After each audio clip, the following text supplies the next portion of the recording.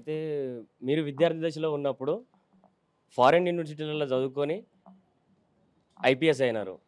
IPS అయ్యి duty చేసుకుంటూ ఆరు సంవత్సరాల ముందు రిటైర్ తీసుకొని రాజకీయాలకు వచ్చారు అదే మీరు ఐపీఎస్లు ఉన్నప్పుడు మీ ప్రవీణ్ కుమార్ సార్ని చూసి మేము ఐపీఎస్లు కావాలి మేము గురుకుల సెక్రటరీ కావాలి ప్రవీణ్ సార్ లెక్క కావాలి మేము అనుకొని మేము అనుకున్నాం. మీరు ఆరు సంవత్సరాల ముందు రిటైర్మెంట్ తీసుకొని రాజకీయాలకు వచ్చారు రాజకీయాలకు రావాలంటే ఎలాంటి అర్హతలు లేవు కదా. ఎలాంటి ఎడ్యుకేషన్ క్వాలిఫికేషన్స్ లేవు. ఇదే మేము ప్రవీణ్ కుమార్ సార్ లెక్క ఐపీఎస్ కావాలన్నా ఇదే సారు రాజకీయాలకు వచ్చిండు. రాజకీయాలు రాజకీయం చేయమంటారా? రెండు చేయండి. ఇది బాగుంది. రెండు చేయాలి. రాజకీయంలోకి ప్యాషన్ ఉంటే రాజకీయంలోకి రండి. ఐపీఎస్ ఆఫీసర్ కావాలనుకుంటే ఐపీఎస్ ఆఫీసర్ అవ్వండి. దాని తర్వాత ఐపీఎస్ ఆఫీసర్ అయిన తర్వాత నాలాగా నేను చాలా అడ్మినిస్ట్రేషన్లో చాలా బాగా చేసిన సాటిస్ఫాక్షన్ వచ్చిన రోజు నాలాగా రాజీనామా చేయండి. వచ్చి రాజకీయాల్లో చేరండి. రెండు బాగానే ఉంటాయి.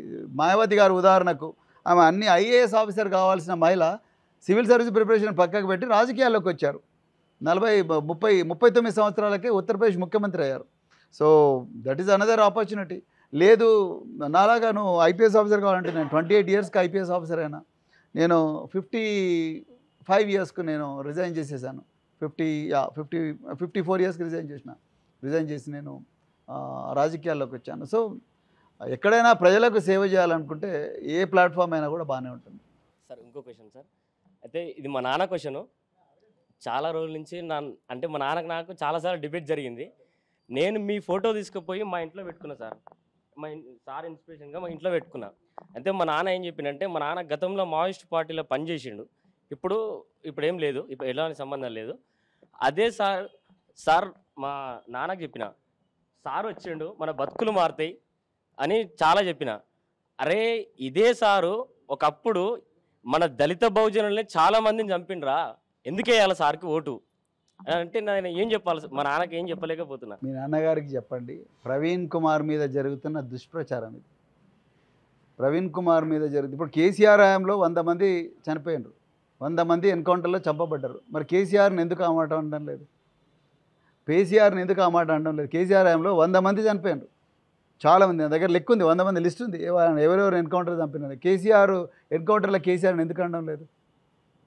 ప్రవీణ్ కుమార్ ఒక్కరినే టార్గెట్ ప్రవీణ్ కుమార్ ఎన్ని జిల్లాల్లో పనిచేశాడు? ఒక కరీంనగర్ జిల్లాలో పనిచేశాడు ప్రవీణ్ కుమార్ మొత్తం తెలంగాణ అప్పుడు ఆంధ్రప్రదేశ్ రాష్ట్రం అప్పుడు తెలంగాణ లేదు కదా. అప్పుడు ఆంధ్రప్రదేశ్ ఆంధ్రప్రదేశ్ రాష్ట్రం ఎక్కడో చచ్చిపోయాను. మరి అందరినీ ఎందుకు అనడం లేదు? ప్రవీణ్ కుమార్ ఒక్కరిని ఎందుకు అంటున్నారు?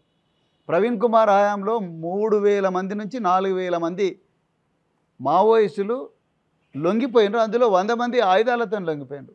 సాయుధంగా లొంగిపోయినారు. లొంగిపోయి జనజీవన శ్రమంతిలో కలిసిండ్రు వేలాది మందిని చావకుండా ప్రవీణ్ కుమార్ బతికించాడు దాని గురించి ఎవరు ఎందుకు మాట్లాడరు? ఎస్ అవును ఎందుకు చర్చ? ఎందుకు ఎందుకు లేదంటే ఎందుకు ఎందుకు జరుగుతుందంటే ఇదంతా కూడా ఆధిపత్య వర్గాలు. ప్రవీణ్ కుమార్ ఇప్పుడు పా రాజకీయాల్లో ఒక రైజింగ్ స్టార్ ఇతను మనం ఎవరి దగ్గరికి అయితే పోలేకపోతున్నామో ఆ ప్రజల దగ్గరికి పోతున్నాడు. ఏ ప్రజానీకం కోసం అయితే మనం వాళ్ళని దోపిడీ చేస్తున్నామో వాళ్ళ దగ్గరికి పోయి వాళ్ళని కాపాడుకుంటూ వస్తున్నాడు. వాళ్ళ పిల్లల్ని చదివిస్తూ ఉన్నాడు. వాళ్ళ పిల్లలు ఇవాళ అమెరికాలో ఉన్నారు ఆస్ట్రేలియాలో ఉన్నారు పసిఫిక్ ఓషన్లో షిప్పులు నడుపుతూ ఉన్నారు. నిన్నగాక మన బుచ్చన్న గారు ఒక అమ్మాయి రాణి అని. ఆమె first Indian to join Pacific marine company అంట. ఇండియా నుంచి? Yes to join marine as a girl marine engineer. నేను సోషల్ వెల్ఫేర్ ఉన్నప్పుడు ఇండియన్ మ్యారిటైమ్ యూనివర్సిటీకి ఇంజనీరింగ్ పంపించాను యాభై ఏడు మందిని. అందులో ఈ అమ్మాయి ఒకటి. సో అంటే ప్రవీణ్ కుమార్ లక్షలాది మంది విద్యార్థుల జీవితాలు మార్చిండు. దాని గురించి ఎవరు మాట్లాడరు. ప్రవీణ్ కుమార్ చూడంగానే ఎన్కౌంటర్ ప్రవీణ్ కుమార్ అంటారు. మరి కేసీఆర్ కూడా ఎన్కౌంటర్ చేసిండు కదా ఆయన హయాంలో వంద మంది చచ్చిపోయారు ఎందుకు ఎన్కౌంటర్లో కేసీఆర్ అన్నారు? స్వయంగా మీరు మీ చేత చనిపోయి లేదండి నేను జిల్లా ఎస్పీని. ఎన్కౌంటర్ అనేది ఎస్పీవై చేయడండి. ఎన్కౌంటర్ అసలు ఎన్కౌంటర్ అనే పదమే తప్పు. రెండు పరస్పర సాయుధులైన వ్యక్తులు ఎదురు పడితే వాళ్ళు అలయబలయ చేసుకుంటారా? చెప్పండి నీ దగ్గర గన్ ఉంది నా దగ్గర గన్ ఉంది ఇద్దరం కోపం మీద ఉన్నాం ఒకరికొకరు. అలయబలయ చేసుకుంటామా? చేసుకోరు. ఎదురెదురుగా పడితే అన్నీ ఎక్స్చేంజ్ ఆఫ్ ఫైర్ అంటారు. అది ప్రతి జిల్లాలో జరిగినాయి. నేను చేసిన దగ్గరనే జరిగినాయి. మరి వేరే జిల్లాలో ఎందుకన్నారు ప్రవీణ్ కుమార్ గురించి ఎందుకు మాట్లాడుతున్నారు? నేను సర్వీస్లో ఉన్నప్పటి నుంచి మాట్లాడుతున్నారు. ఎందుకు?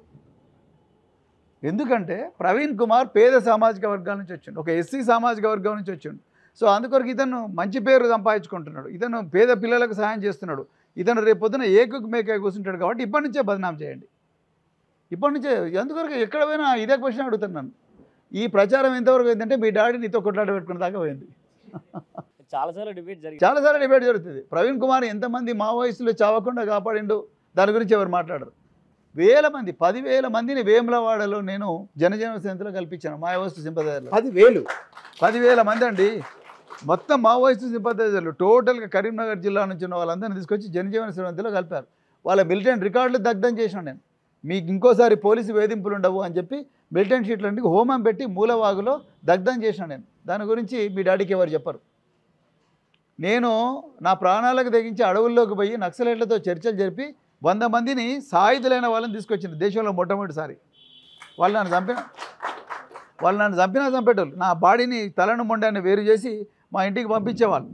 కానీ నేను వాళ్ళ కాన్ఫిడెన్స్ తీసుకున్నా కాబట్టే నేను వాళ్ళని తీసుకొచ్చి సరెండర్ చేయించగలిగాను.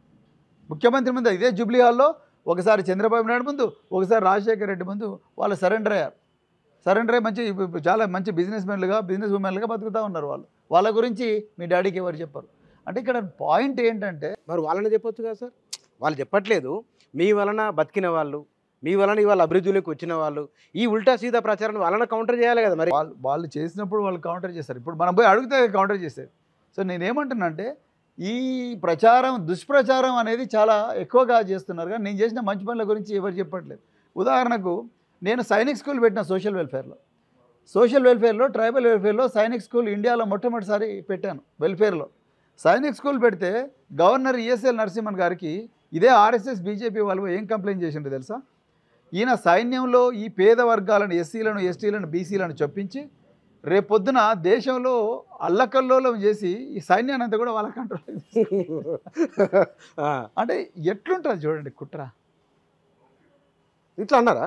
అవునండి. గవర్నర్ ఈఎస్ఎల్ ఆయన నన్ను పిలిపించిండు. అరే నువ్వు ఐపీఎస్ ఆఫీసర్ నేను ఐపీఎస్ ఆఫీసర్ ఏంది నీ మీద ఇట్లా కంప్లైంట్ వచ్చినట్టు నేను చెప్పిన మీరు రండి అని నా స్కూల్లోకి తీసుకుపోయిన ఆయన ఆయన పిల్లలతో మాట్లాడిన తర్వాత అది చించేసిండు.